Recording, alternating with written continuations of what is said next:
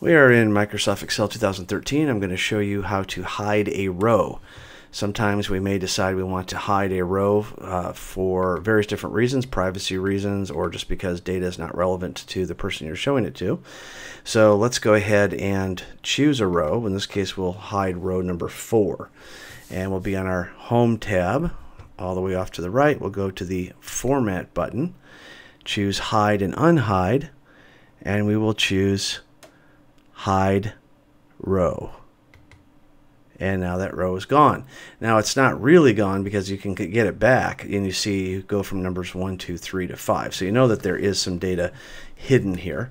Uh, so if we want, we can, we can go back uh, and unhide it. But first let's go ahead and hide some additional rows because you can do multiple ones at the same time. And so now you can see a lot less rows going on. So it also shows a line across where the hidden data is, so you know that there's data hidden in that spot. So let's go ahead and go back to our Format button and Hide and Unhide, and we'll choose unhide rows.